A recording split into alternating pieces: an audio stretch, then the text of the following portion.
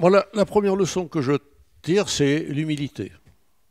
L'humilité est une denrée qui semble parfois euh, assez rare autour de moi. Euh, la biologie vous rend humble. Lorsque je suis rentré d'Algérie, j'avais une année encore d'internat à faire à Lyon, j'avais choisi en 63 euh, l'hôpital Jules Courmont pour la tuberculose, parce que la tuberculose était terminée. Et c'était éradiqué avec le PAS, streptorubifon.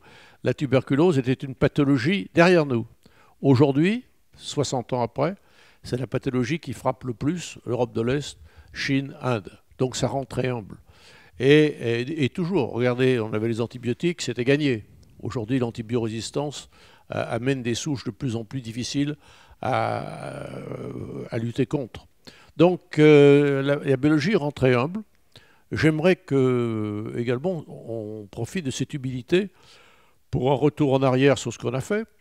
Euh, moi, je me suis toujours opposé, par exemple, au niveau euh, économique, à, la suppression de l'aménagement du territoire, à la suppression du plan. Euh, autant de denrées qui auraient été très utiles aujourd'hui. Et que je sais que tout le monde sait que je suis proche des Chinois. Je suis proche des Chinois parce que je les connais depuis 40 ans, et qu'ils ont pris l'approche gaulienne, c'est-à-dire le plan, une industrie forte dans le cadre du plan, où il y a une mobilisation, comme nous avions dans notre jeunesse, de du monde universitaire, du monde politique et du monde industriel pour des missions que nous avons à accomplir ensemble, et puis l'aménagement du territoire qui était également indispensable. Et je pense qu'on aurait eu un meilleur aménagement du territoire, on aurait peut-être évité les gilets jaunes. Donc j'espère que l'humilité frappera ceux qui nous dirigent et qu'elle permettra, je dirais, de reprendre le deuxième paramètre auquel je crois beaucoup, je l'ai dit, c'est l'ambition.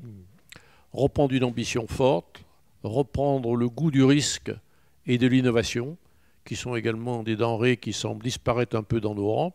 Il faut reprendre le goût du risque, l'entreprendre, risquer, revenir d'un capitalisme qui est devenu pour moi beaucoup trop financier à un capitalisme beaucoup plus industriel et entrepreneurial. Donc voilà, c'est le vœu. Et la troisième conclusion que je tire de cette épidémie, c'est l'ardente nécessité du partage, non pas par euh, tout à coup euh, une voie divine, mais parce que si l'on réussit dans un environnement qui s'appauvrit, la réussite, elle sera de courte durée. Donc je pense qu'une vraie réussite, c'est une réussite qui se partage. Elle se partage en France, on doit la partager. Je suis le premier à dire que ceux qui ont eu la chance euh, de faire fortune, comme on dit, ont le devoir de la partager. Je pense que c'est encore beaucoup plus grave dans les pays où nous sommes implantés par la Fondation, où la pauvreté est remplacée par la misère.